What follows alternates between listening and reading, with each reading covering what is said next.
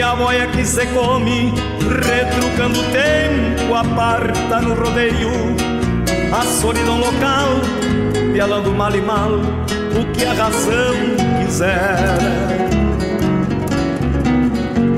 Amada, me deu saudade. Me fala que a égua tá prenha, que o porco tá gordo, que o baião dá solto. Estamos hoje aqui no INCRA, estamos aqui o ex-ministro Ronaldo Nogueira, ex-ministro do Trabalho, e também o superintendente Tarso Teixeira. Ministro, podemos dizer que hoje uma data emblemática e profícua para o estado do Rio Grande do Sul? Nós estamos aqui no INCRA, FUNASE e INCRA deverão trabalhar uh, passo a passo uh, no sentido de trazer dignidade com relação a ações de saneamento para as comunidades indígenas, quilombolas e os assentamentos. É uma orientação do presidente Jair Bolsonaro de que, através das ações da FUNASA, essas comunidades possam serem prestigiadas, priorizadas nas ações que dizem respeito a saneamento. Superintendente Tarso tá, podemos dizer que as pessoas achavam que o presidente não iria ter uma atenção especial com essa população e está demonstrando nas suas atitudes uma grande preocupação. Sem sombra de dúvida, muito bem eh, recebido hoje aqui presidente da FUNAS, o ex-ministro Ronaldo Nogueira, um gaúcho, né? E vem trazendo só boas notícias. Tu bem sabes que o Rio Grande do Sul tem 344 assentamentos, 12.613 famílias e 98 municípios do estado do Rio Grande do Sul, e que abrange 250 mil hectares. E essas, e essas famílias, esses assentamentos, não apenas assentamentos, mas também quilombos e quilombolas, também as reservas indígenas, são desassistidas políticas públicas. Então, graças a Deus, o, o presidente Bolsonaro, atento, e agora com o nosso presidente da FUNASA, pessoa altamente qualificada que, vendo as necessidades que sentem esses povos aí, vem trazer o Plano Nacional de Saneamento Básico. Atender as comunidades rurais aí, então, e são, na verdade, são produtores rurais. E hoje você diga que produzindo muito bem. A, haja vista que a Expo Inter é, foi um sucesso tremendo que foi ali a agricultura familiar ali e com a presença da nossa ministra mostrando que esses, esses assentamentos, é, essas, essas reservas, esses quilômetros quilombolas, com políticas públicas que atendam eles, são grandes produtores rurais e vão atender essa demanda, principalmente aqui no Brasil, nesse, nesse, nesse tipo de, de atividade. Continuamos aqui com o ex-ministro do Trabalho e hoje presidente da Fundação Nacional de Saúde, Ronaldo Nogueira. Podemos dizer que cada centavo investido, cada real investido em saneamento se gasta menos em saúde, se gasta menos em segurança. O tratamento da doença ele é mais caro e além de ser doloroso, para cada real investido em saneamento, você evita depois uma despesa de quatro reais no tratamento da doença. A Funasa hoje tem mais de 2.400 obras em execução no Brasil obras que foram retomadas ah, no governo do presidente Jair Bolsonaro.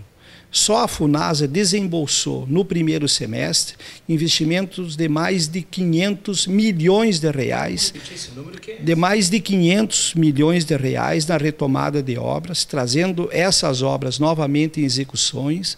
São mais de 2.400 obras em execução e nos próximos 90 dias serão iniciadas mais 2.800 obras. Então, o governo do presidente uh, Jair Bolsonaro tem demonstrado, sim, uma ação importantíssima, uma preocupação de fato, e contra fatos não há argumentos. E é isso que está acontecendo, e o prestigiamento dessas comunidades mais vulneráveis, mais necessitadas, tem sido uma máxima fundamental do governo do presidente Jair Bolsonaro. Aparentemente, Tarso, parece que é só saneamento, mas é saneamento, saúde, qualidade de vida e progresso. E às vezes muitos investidores procuram locais que tenham esse tipo de infraestrutura para se estabelecer, para trazer investimentos também para o estado do Rio Grande do Sul. Isso de dúvida, o assentamento, hoje a pessoa depois receber o título, que é uma, é uma das metas do presidente Bolsonaro, do presidente do INCA, do, do ministro Naban Garcia, é, secretário nacional de Ações Fundiárias, ele dá título dessas terras. E as pessoas podem fazer nesses assentamentos o que quiserem fazer. Inclusive, agora, para fazer isso aí, tem que ter saúde, tem que ter um saneamento para que possa desenvolver outras atividades, que sejam agrícolas, pode fazer hotéis fazenda, pode fazer um turismo rural, que é muito importante, porque, na verdade, é agricultor familiar, o pecuarista familiar, que se presta muito nesses assentamentos, precisa disso aí. E como disse muito bem o ex-ministro, ah, sem saúde não se faz nada hoje. Então, buscando saúde, com certeza vai aumentar muito a produção e a produtividade dos nossos assentamentos. Vai encerrar aqui. Ministro, o produtor rural hoje, ele não é só importante para o Brasil, mas para o mundo, porque o mundo está de olho na proteína e no alimento aqui do Brasil. O Brasil pode se tornar daqui a 10, 15 anos um, um celeiro de alimentos para o mundo, né? E aquilo que o ministro-chefe da Casa Civil tem, tem falado, o Brasil retoma a, a sua esperança e a sua capacidade de produção através da credibilidade que o governo demonstra, principalmente para os investidores externos, os investidores internos e os produtores brasileiros. Essa segurança é fundamental. E a articulação que é produzida pela Casa Civil através do ministro Onix Lorenzoni e o ministro da Saúde Henrique Mandetta, no que diz respeito às ações da FUNASA, tem sido fundamental, principalmente para incentivar aqueles pequenos produtores a permanecerem nas comunidades rurais. Você, você muda o lugar para as pessoas não mudarem de lugar. É verdade. Parabéns, hein? É, muito obrigado, exatamente. Parabéns a todos nós aqui.